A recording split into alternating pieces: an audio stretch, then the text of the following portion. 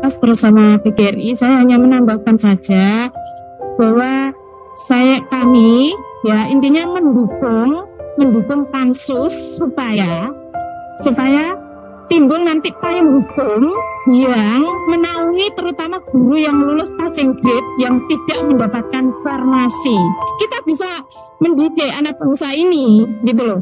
Masa saya yang sudah belasan tahun mengabdi, disalib sama murid saya itu loh.